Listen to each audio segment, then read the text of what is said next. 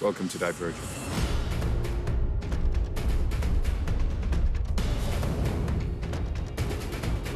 Well, I came up with the idea for the book seven years ago. I just had this kind of inkling of an idea, basically, of the Dauntless faction and just a subculture of people who want to eradicate fear. And I didn't actually write it until four years after that, and that took six months just for the first draft, and then everything happened really quickly after that. I mean, I got an agent, I got the book deal, and then, you know, bam, suddenly movie rights were sold, and it was just like everything all at once. As a producer, you're always looking for stories that you might want to tell. And all of a sudden, someone in our company said, I just got this manuscript. It's really good. So we read it right away. With Veronica's work from the very beginning, you were in this really well observed world, a character you instantly connected to who was about to make the great choice of her life. I think that there's a lot of beautiful metaphors woven within the themes of this movie, which is one of the main reasons that I was attracted to it. And I feel very grateful to maybe be a part of that. You almost can't read the book without thinking, okay, which faction am I more like?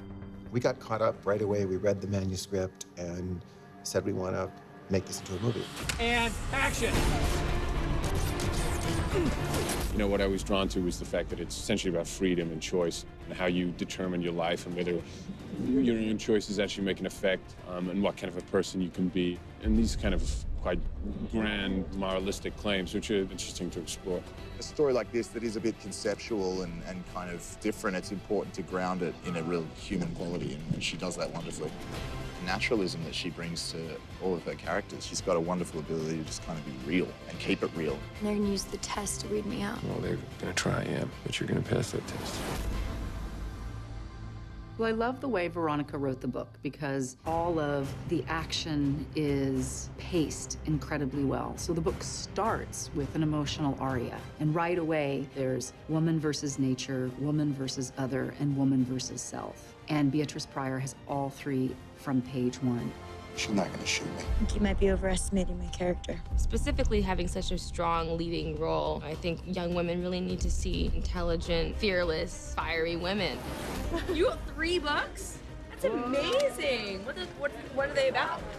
it's just some kids in dystopian Chicago. Are we really going to keep doing Tell me all about it.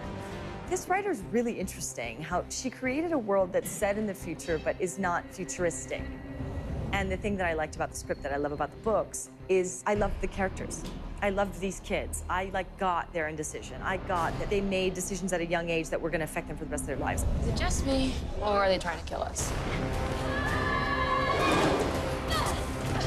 The thing for me that was the most fascinating about this story is that we as human beings, we all want to count for something, come from somewhere, and to belong. And that is what this film is about. Faction before blood.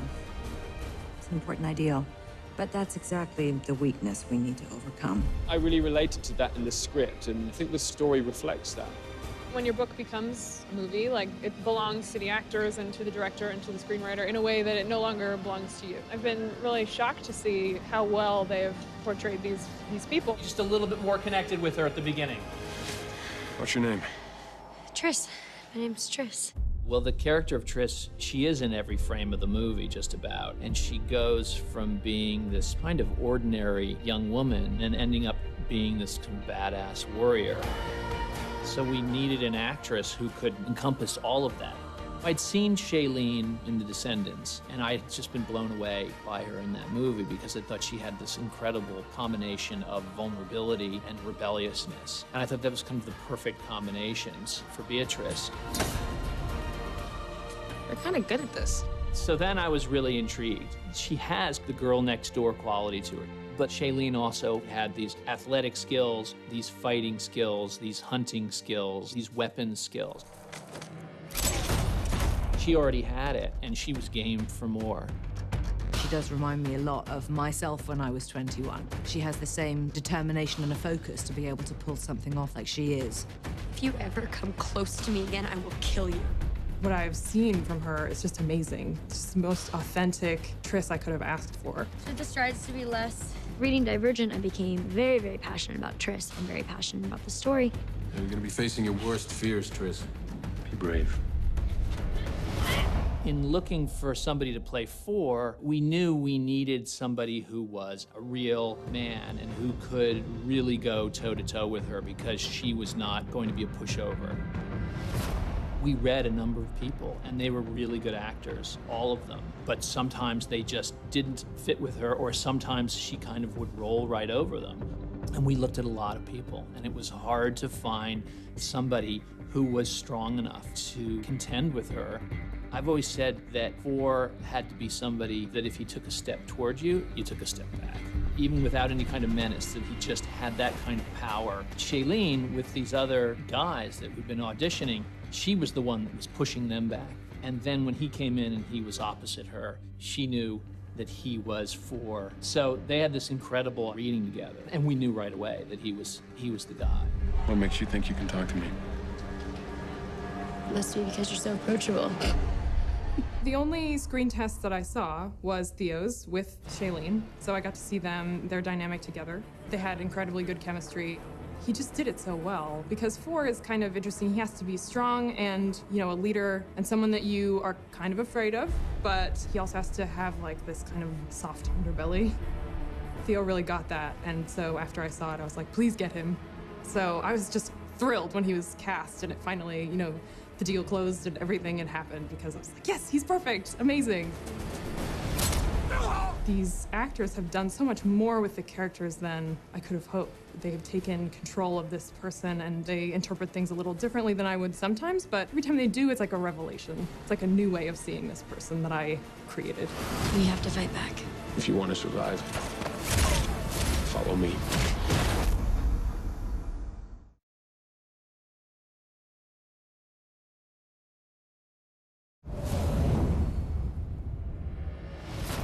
You ready for some real fighting?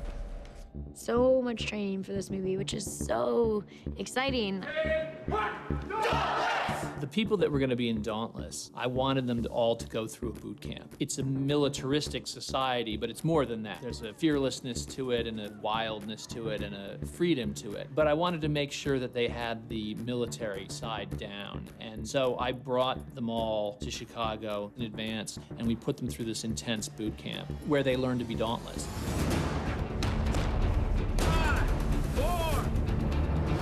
Did this training for three weeks before where the stunt guys, JJ and Garrett, they're great. They're excellent, consummate professionals. Our stunt coordinators, one guy was, you know, in the service, the other guy was a world champion Muay Thai fighter. This was not like actor training. This was legitimate, like, physical body training. Lock over white elbow. It was hard. It, you know, it definitely shocked me. You know, I wasn't really like mentally prepared or physically prepared when we first got here. You know, they really kicked our butts. They got us into really good shape and how to get our endurance up. I've worked out before, but uh, never like this. I'm on day two of the workouts. It's been like incredible. It's been cool to get stronger, see everybody else get stronger. Even a day into it, everybody's looking, you know, good. Like a whole different animal. As you can see, there's people throwing knives, and we just got done doing a bunch of push-ups and stuff. This is what you want, you know. I mean, it's hard, but once you get over that hump and you fight through it, you know that this is what we strive for to make the movie really good and show the fight styles are real. They're showing us how to throw real punches, not movie punch. These guys are the best, and we're happy to be with them. Are soldiers essentially. Fitness and that sort of thing is a, is a big part of you know, what Dauntless do on a maintain on a, on a kind of daily basis. When we first decided to do the boot camp and tell everyone, you know, that this is what the fighting style is all about and this is what they're going to have to do in the movie, I also thought, you know, this is a great time to put our actor Theo into the spotlight and show him that this is the character he needs to be. So we had been teaching him by showing him how teachers do it this whole week before boot camp, and it was up to him now to sink or swim, and he did a great job. I think that he flew. I wanted to be in a place where I was physically seemed older and mature and as if I'd had been through training because he is an officer above these kids. Now stay there. I wanted to reach a certain physical state, but also I did my own boxing and, and wanted to incorporate that style of movement into the way he moves as well, so it felt as natural and real as possible rather than him doing a flying kung fu kick, which like that came out of nowhere. I had some firearms training. I trained professionals. There was a lot of knife throwing training and a lot of physical activity, which we were very fortunate. It's one thing to read a book, especially a book about the future, and then to come up with that world through the director Neil Burger and through the art department. They created something that is relatable. You know, it's something we recognize in today's world, but it's also tweaked just enough to establish that it is something of the future. The book is set in Chicago. So what I decided to do was, well, let's just shoot on the streets of Chicago. This is definitely Chicago, and it's Chicago repurposed. You get the logic of the city, you understand the trains that go through. Divergent has sort of spread its wings. We go from the Ferris wheel to the Wrigley building, everywhere. We were using the locations that were there and then sort of transforming them to locate them in the future. And then some of the things we built, we built outside on the street. We built the Abnegation neighborhood, the pit. We built our own train. We were clearing blocks and blocks of streets and sort of redecorating them, which was an enormous undertaking. Chicago is a great, great town. We've come here and we're kind of discovering it as a cast and going out and having fun together. I love everyone. Dauntless, Divergence. You know, aside from the prep, it's still pretty early, but it's a great city and it's an iconic city, and I think we're gonna have a lot of fun here. Coolest part about shooting in Chicago would have to be the deep dish pizza. Classic mom. Like any city, when it gets warm, like people start to come out, but we're all like discovering this new city together. It's really cool. I'm loving it. I was, I was looking outside of uh, my window the other night, and there's this low rolling fog. Top half of all the skyscrapers were obscured with this like smoke effect. It seriously looked like some great giant movie set. It's amazing being in these places which Veronica wrote about, and now we are here doing it. I can't imagine filming anywhere else. It's really strange to see it become a reality, you know, when it's been existing in my mind for so long. This is the kind of thing I would never have been able to imagine. What do you think of this world? It's Rocking, awesome. right? Yeah, cool. I've been overwhelmed all day. So many people have been working so hard and thinking so hard about this world and seeing the way it's been captured and how much thought and care they put into every little thing was pretty amazing. If you like this, you're gonna love the bathroom. The sets are great. I think they've recreated the look of the book really well. And they have this kind of cold aesthetic, but also this idea of the future and the lighting and everything really kind of captures the world. There's a lot of like semi kind of industrial sets. One of the things we definitely tried to do with the creation of each of the factions was make them appealing in their own way. Dauntless is obviously appealing. It's an exciting, dangerous, dynamic place to be. The first building we shot in was what we call the South Plant. The director came in and said this would be a great place to shoot our fight training sequences. So you would get the spans of the buildings that are left behind, and it gives you an idea of what the world is like in 140 years from now in Chicago. The boxing arena and, and the lighting system that Alvin and Anne came up with to surround and highlight the rings within that space was really great. So it looked almost like an old boxing ring, and at the same time was completely futuristic. It was really extraordinary. It was a kind of brutal location in terms of it was just a, an old factory underground, so it was all quite dusty and dark. It helped in hitting home the, the brutal nature of their training.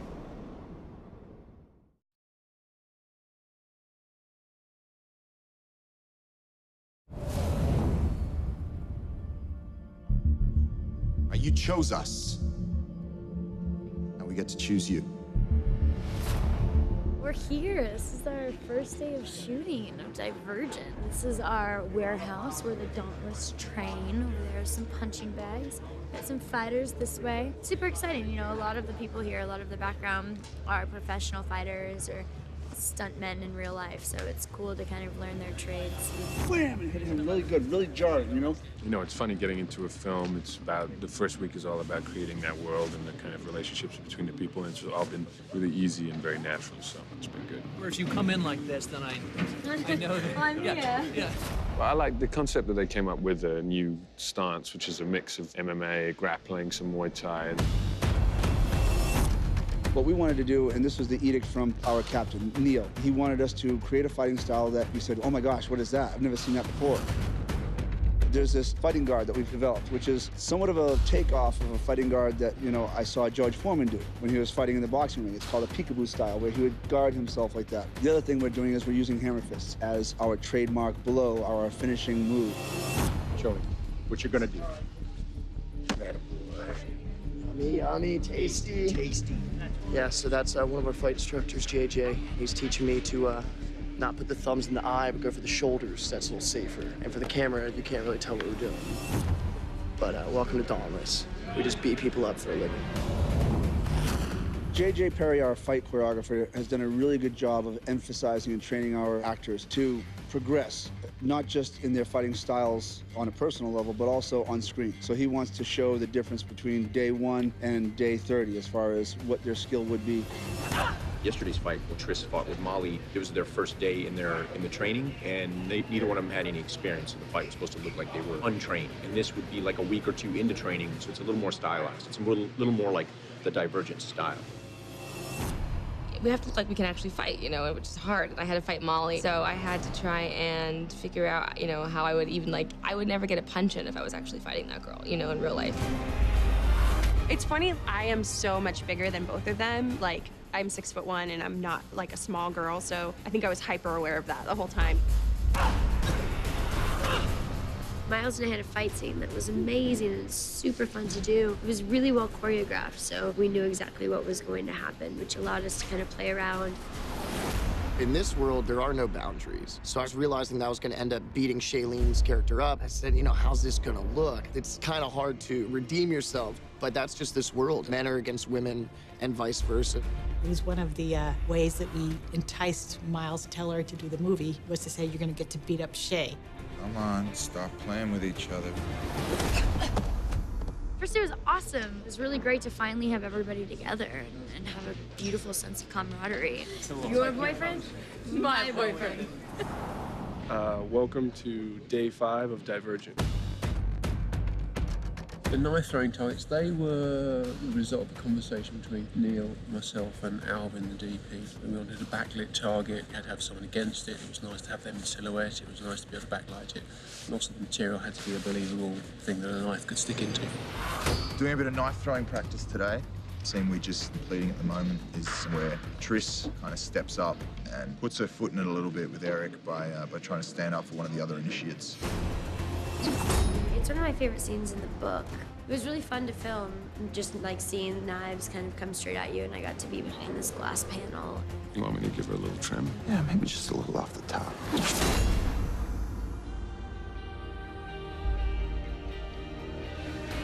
Right now we are in what's going to be the dining hall. It's, uh, it's a building, it's called the Defender Building. It's 2400 South Michigan. It used to be a big automotive club back in the late 20s. As far as the set itself, I think it looks really good and it's coming together as we thought it would. But the, the little things of trying to get that to work properly have been a little bit of a pain. Like the doors being rusted shut, for instance. That was a big, a big ordeal, trying to simply get in the place.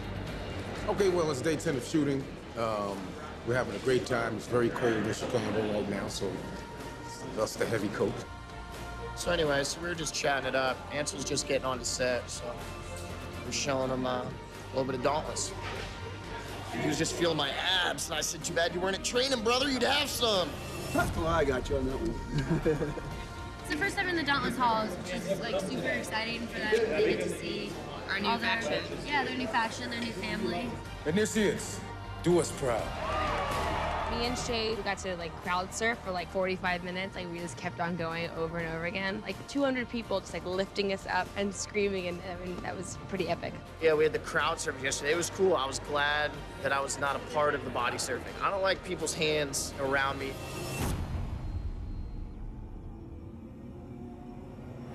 Hey, what's up, guys? Day 68. Woo! The scene we're shooting today, up on this rooftop, is uh, takes place when all the initiates who've just come from the choosing ceremonies are about to go through the, the gates into the Dauntless faction. And basically, Jai asks who wants to jump off the roof, and Tris uh, volunteers. It's a big moment for her where her bravery shot her hand up and she said, I'll do it before her mind could really compute what she was offering. Tris's stunt double today did a great stunt where it's a wire rig and you have uh, the cameraman following her down on this seven-story jump, so it's very cool. It's not as easy as it looks at all. Um, the girl that jumped, you know, her name's Alicia, incredible stunt girl. So what we had to do is we had to slowly build her up. And why is there so much preparation? I'll tell you why. Because that airbag, even though it might be nine feet tall and 18 feet wide, looks like a little cell phone down below when you're jumping off a building. How high is that? 50 feet. 50 feet. We're working up to 66 feet, 66. yeah. Uh, we're trying to get her comfortable doing a 66 foot jump. Her initial jump was 40 feet. Now we've gotten her up to 50 feet today. That was awesome. Yeah, that's good. I'm gonna watch Alicia best her personal record right now. She weakened the knees a little bit, but uh, you know, I'm excited and I hope all of you are too. All right. Alicia, in a good way, I love you. Yeah. You're a great kid. My stunt double's such a badass.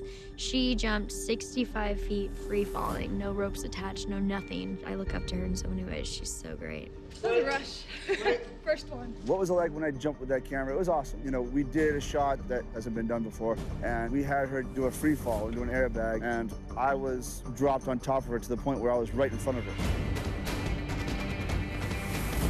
Jumping off the building was a quite a good feeling for me. I don't have many high falls in my background, and uh, just learning a new thing was uh, pretty cool.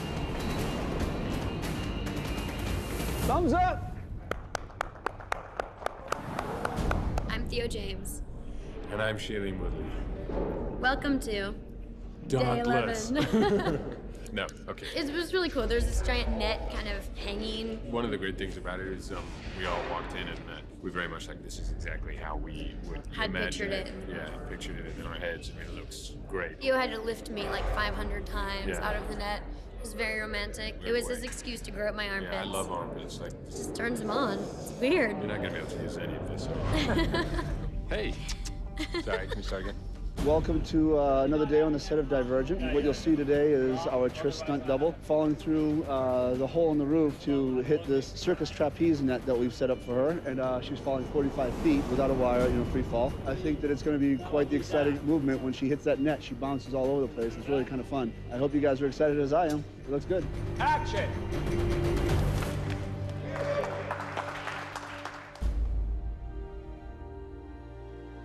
Hey, what's up? It's day 13. Welcome to the Navy Pier. Click, click, boom.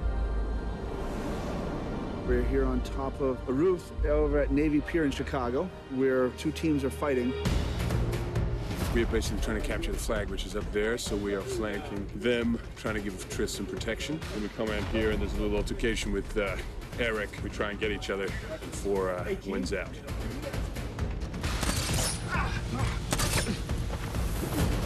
It was one of the scenes I added later in revisions, and it was a way to establish Dauntless camaraderie and kind of the reason that Tris would want to be a member of Dauntless. It's a pretty pivotal scene for the Dauntless. I think that I have Christina cornered, and I have my gun right at her. I hear Tris say something, I turn around, and she shoots me. It was a cheap shot. I mean, I guess you could call that a victory on her part, but I, I wouldn't count that. I think it was really cheap. That was awesome. The biggest challenge of this location was the scale. Getting it done in a very short period of time and getting the amount of stuff in that we had to. We had um, on-the-day prep for pretty much everything you're seeing here, with the exception of a couple of buildings, which we prefabricated off-site and brought in. Most of the aging that we're doing in common with the rest of the movie, when we see Chicago, it needs to look 150 years in the future, so abandoned but not destroyed. Everything that's been painted new has to be not like that. The Navy Pier, without us even being there, is just awesome. If you ever go to Chicago, it's just cool. It's right on the water. And then the fact that they could shut this whole amusement park down for us to film a movie was pretty special. This has been particularly daunting. The Ferris wheel is such a Chicago landmark that to even get a few nights of control of it was a major ordeal. And we've had to have people here all night distressing it, which means both putting dirt on it and decals to make it seem like it had rusted. And we could only put those in certain places. They were very careful about where we could put it. But we got a great night scene, and it's one of the most important scenes in the movie because it's really one of the big love scenes between Tris and Four. So here we go, and action.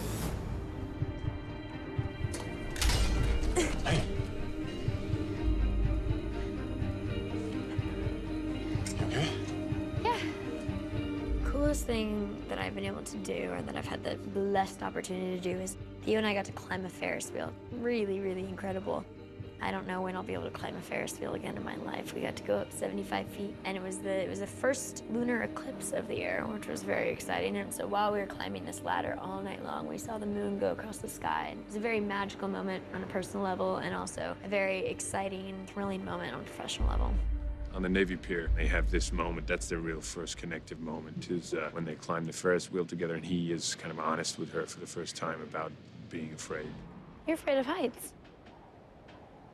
Everyone's afraid of something. Well, it was definitely the closest I've come to crying since I have seen any of this, um, because that's that was one of my favorite scenes to write, and it's become you know such an important part of their relationship, and seeing that kind of captured on screen was really amazing. This isn't so bad. Yeah. C mark. Background and action. You like it? Yeah? Where'd you get it? I don't know. What do you suggest? It's day 19. Um, my name's Maggie Q, and I play Tori. I love what they've done because it's not going to be a film where you're watching it and you're not sure what you're looking at. With all of Dauntless, we wanted to be kind of exuberant and youthful, and obviously we've seen tattoo parlors in movies before, and we wanted to do something that just felt a little different. First element that I really worked on was the lighting element. So these were designed specifically to hold his globes and then colored the way that he wanted them. The next element was the furniture. So we thought this older medical equipment gave a really dauntless feeling. I made a mistake choosing Dauntless. This, uh, we found that it was originally a light fixture, so we disassembled the whole lighting fixture and we made these screens. All the tattoos were designed um, by the Divergent um, art department's graphic uh, department. So really two people were responsible for doing the, the tattoos. And then we printed them on this uh, plexiglass. This was one of the designs that they had given, and what I liked about it was its aggressiveness, but also its sense of meaning. I mean, that's a big part of his identity, and, again, that's kind of mirrored in his mysterious nature because through the whole movie, most of it, you just see this thing poking out the top of his neck, and you kind of wonder what it is, what it means. The thing takes like 15 hours to put on. No, it doesn't. But it takes a while to put on. Hey, what's up, guys? Day 20, jumping on this moving train. It's going pretty quick. So we do our own stunts here in Dauntless. This seems amazing. We, uh, we're doing the train scenes where we get to run and jump on moving trains. I haven't rehearsed this. Everyone else got a chance to rehearse it. Today is my first time kind of seeing the set, and it's been really exciting. You know, and the story point is the fact that he's just doing it, you know, and you're not asking for it. This is the way that I initially, I sort of sketched out how I saw the scene. And I did these very, very rough, these rough thumbnails. And then I've given my storyboards and worked with a guy who's going to draw them. Then we've taken these and we've turned them into the, the pre-visualization, which is basically like, you know, looks like a video game or something like that. The train has been built by special effects. It's a really good moving set piece. And on top of it, we've rehearsed, you know, for the last couple of days. Good. But what happens is um, the train is actually being towed on what's called an endless, and it's one looping cable. Uh, one end is attached to the back end of what's called a stake bed, and the other end is attached to the front of it. So when it goes backwards, you know, it will tow the train backwards. When it goes forward, it tows the train forwards. Action train. yes, jumping on like a moving train at 10 miles an hour is not like easy thing to do, and it's definitely like physically like exhausting. Every time I do, it, I'm really tired.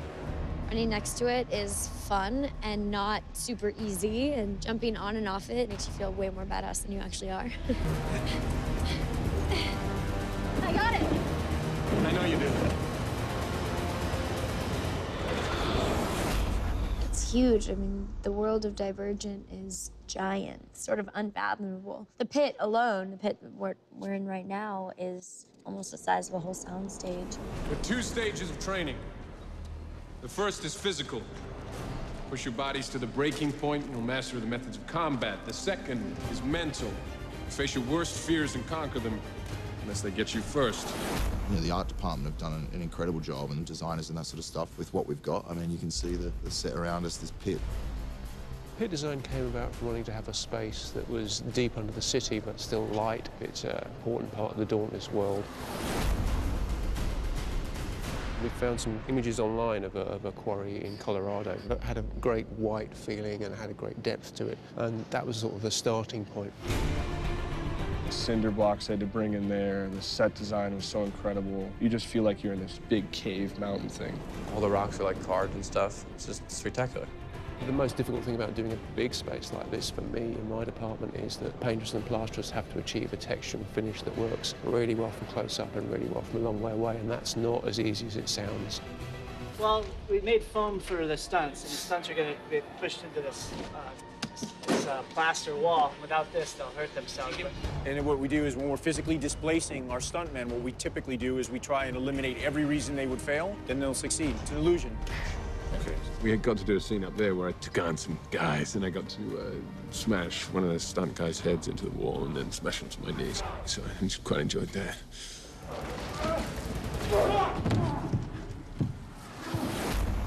You all right?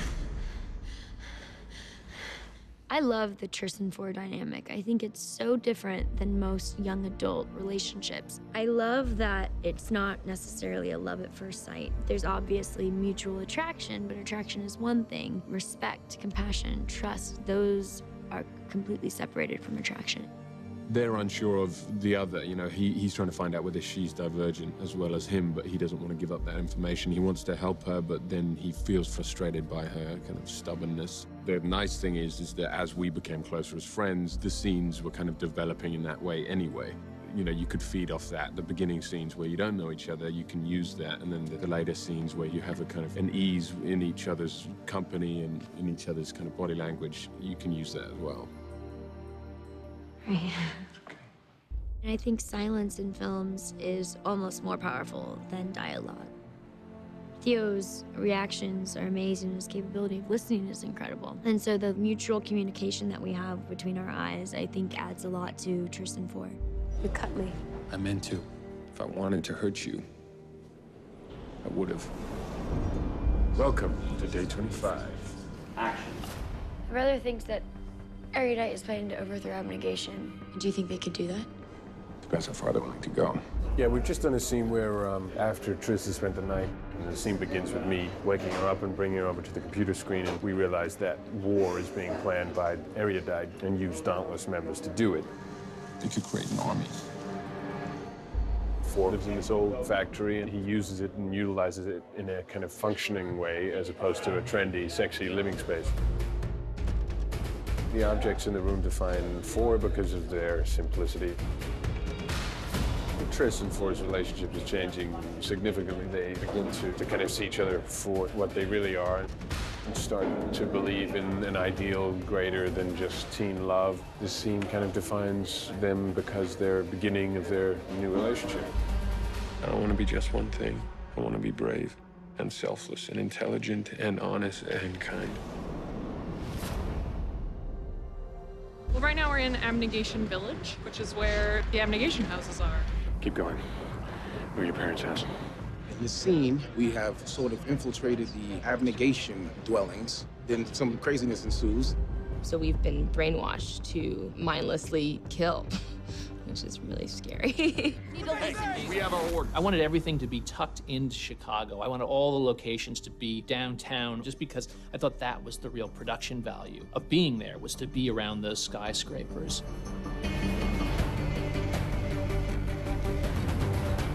One of the first times I visited Chicago, I went up in the Sears Tower and I got up there and I looked down just to the south of it and I saw this patch of green and I said, that's where abnegation should be.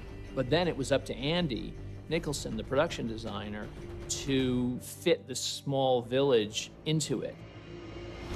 You know, he came up with this great design for these buildings, and then they built it right in the city to the point that people driving by were like, "Oh, well, there's some new houses going up. Could we buy one of those?" And there was there was a lot of that going on because they were so beautifully designed and, and made, actually.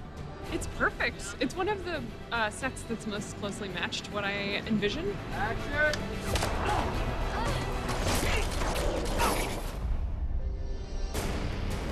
Now you have reached the age where you must choose your own life. The scene we're doing today is the choosing ceremony, which is uh, you, you see all five factions here. When the youngsters we see at like 16, they have to decide what faction to join. Caleb Prior. And the whole faction system allows them to join a different faction. So they have to come up here and give their blood, just a drop, to whatever faction they choose. And that's sort of the, the symbol of them joining that faction. I felt when we did this scene, it was just really emotional. Because first of all, there are a lot of people watching, and there are people judging you. Especially for me, because Ray, who plays Marcus, he's the leader of Abnegation, was standing right here, he runs the ceremony. So I have to also, in front of him, sort of betray my faction. Erudite. So in each bowl has sort of like a symbol for what the faction is. Candor has glass, you can see right through it, it's very honest. Amity has soil because they're, you know, everyone knows they farm the food. Erudite has water, very pure and signifies the truth. And then Abnegation has stones, very simple. And then Dauntless has hot coals because it's brave and strong. Today, we're doing the about to zipline scene in Dauntless Extra. when I first got here, I was really nervous just because I really can't act. So I didn't want to mess it up for everybody else. I don't know, I didn't want to be like the one weak link in the chain, but Neil's very sweet. And after every take, it's like, okay, you need to stop trying to avoid the camera. What we're going to do is we've set up this Highline trolley system, which is basically referred to as a zip line. She's going to get into it in straps, and really that's all she's being supported in. It's just these two webbing straps, which is what it's supposed to be in the movie. And we're going to send her down about 75 feet right now, and uh, it's a fun little ride. It'll be good.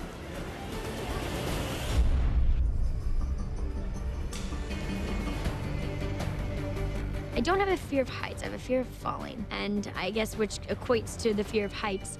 But it's one of those things that I get so pumped by it that I have to continue to do it.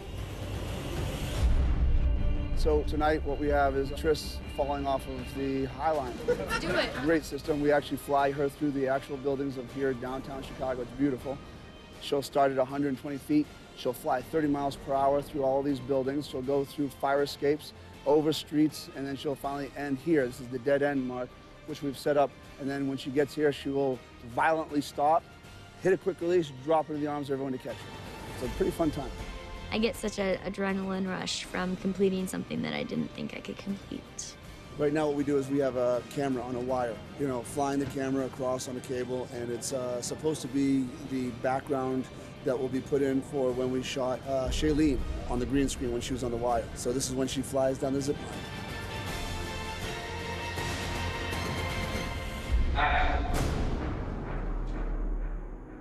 Four has just been put under uh, three doses of the, uh, the serum, and Tris has come to shut down the simulation to stop the war, essentially, and uh, she finds Four under kind of this in this comatose state. They're reunited with each other, but uh, he's actually aggressive towards her, and then a fight begins. Jeanine, she has a very scientific, intelligent mind, and it's her desire that Erudite will be the governing faction. So she's a very clever, but not necessarily nice piece of work. Four. He's gone, and we're all safer for it. Tris and Four are both divergent, and so Four is able, with Tris's help, to kind of break out of the simulation. There's a big fight getting ready to ensue between Four and Tris versus like 18 Erudite guards. So here it comes, bro. Fasten your seatbelts.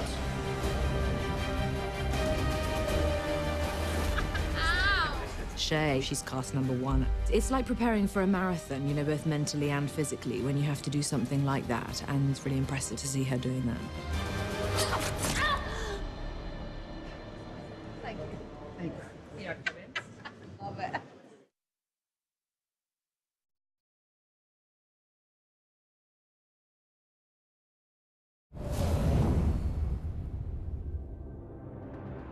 I wanted the movie to look incredibly real, to feel like you were there. Sometimes you can do that by being there, and sometimes you can do it by subtle use of visual effects. Sometimes that just is an extension of sets that you do, and sometimes it's a wholesale kind of building of a landscape. We always knew we were going to do special effects. It was just a matter of which ones would be the ones that would be the most meaningful to the story. Some are to enhance things and make them bigger, and some are just to create a world that's a future world. This isn't real.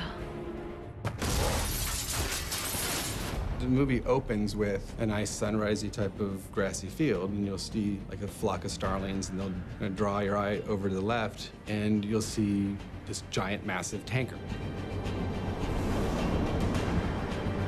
And as you pan around, you'll see this massive wall. See, it was crazy that we found that, yeah. I think it's an old steel mill that is gone, except for the, the main base retaining wall that's still out there in the middle of the field. In our world, in the finished film, it'll be three or four times higher, but it's still a massive wall in the middle of a field, and that juxtaposition alone is jarring. I think Divergent visually is extremely compelling because it's this new world and it's it's full of new experiences and new walls to sort of explore. There's subtleties as you look around the wide-angle scope of the city. Because there's no longer cars, you wouldn't have traffic lights. The lines on the asphalt would long be gone. So most of the shops are gone, so we'll kind of bury that. If you get rid of all signage, pedestrians, all cars, the city automatically looks different, but not so different that it's a thousand years in the future and it just kind of looks fake. When we started, Jim Berney, our visual effects supervisor, told me never underestimate the city. I did not think it was going to be this difficult. There's so much detail that shouldn't be there in our world, and so they paint what they can, but no matter what, when we start rolling cameras, there's a dozen things that we have to remove on every frame of film. We don't want the streetlights, and we don't want probably mailboxes, and we don't want bus stops. So look at those structures that are in the immediate area, and I paint those out. So the first thing you want to do is just delete all signs of life. That's an undertaking. And then there's the adding the damage or the turbines and all those other things. So when I first met with Neil, he talked about the aptitude test, and that's where Tris goes into this mirror room. And I loved the vision that Neil had for it. When you're in this mirror room, it's really light reflecting around, but the way Neil explained it, it's more geographic puzzle. And it's one that took us, you know, a few months to work out. For every shot, we've got six cameras. So we have two cameras kind of facing each other so that you have, you have her face and then her face reflected. And then four other cameras to get all the other reflections that are going to go in all the other mirrors. But all those mirrors will be CG. So it's really just one actress on a green screen and six cameras. If you do those fear landscapes purely in a digital way, like you just shoot the actors against green screen, then it's really just up to the visual effects people to come up with this world. Because we were trying to do them as real as possible, put them into a real landscape. Then you get a huge collaboration with the camera department, trying to do as much as you can in camera. And then the production design, coming up with these sets. Then you're working with visual effects because she can't be burned by flames. A bird claw her in the face. Four in particular has one fear landscape where he's on a high wire way above skyscrapers. And the visual of that is actually pretty exciting. We'll have existing skyscrapers that he's on a wire between, but obviously we're not going to go film 1,000 feet between two skyscrapers. We're going to have our actors on a green screen stage on a wire with a pad below them in case they fall off. And that entire environment will be computer generated. So it has to be computer generated from scratch, but it has to look exactly like you took a photograph of those buildings. We did LiDAR scanning, which is image mapping of the existing buildings to get every nook and cranny in a model. We did extensive texture photography from the rooftops, from the ground, other neighboring buildings to get every angle. And we'll map that onto our model of the building and create a, a standard lighting environment so that when you have an actor on a green screen and you throw him up against those buildings, it should look like he was standing right there between those two skyscrapers. Neil sees this movie in a very visual way. His capability of creating a world that doesn't exist is unbelievable. We wanted to do the train reel. We wanted them jumping on and off the train. We actually got the actors up onto the L. There's obviously limited things you can do on a working train line. We had to film it in six different locations. And our job then is to tie it all together and make it blend so that the audience doesn't realize it was a location and then a set piece and then a stage as we finish the movie, we have all this raw footage. We have all these different pieces. We have, you know, Tris getting, getting onto a train car here and jumping off there, and we've got to link them together, and we've got to add a train carriage, and we've got to put it up seven stories. That's where this incredible work begins with Jim Berney and with his visual effects team to start putting this all together and making it make sense and look completely real so you can't even put your finger on what's really there and what isn't. There's a lot of beauty in that. There's a lot of beauty in seeing a movie that visually is stunning and that takes you on a roller coaster of emotions through the characters' experiences. Everyone's afraid. I know, but fear does something strange to people. Fear doesn't shut you down and wakes you up.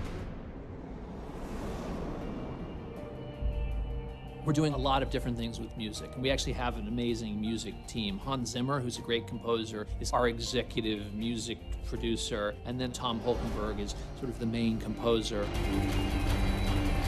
It's an epic adventure movie, and they are the guys to create the music for that. What those guys have been great at doing is getting into Tris's head and making the music and thus the movie feel very intimate, as well as to drive it forward in an incredibly energetic way.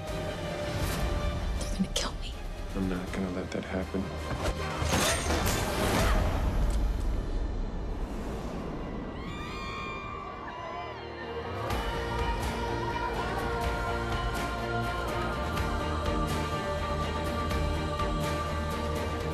We are at the LA premiere, the big premiere. Finally, after almost a year, we shot and began. I think I flew in on March 13th to Shea. We're taking this big journey, and finally, we're kind of at the uh, the end game. So enjoy.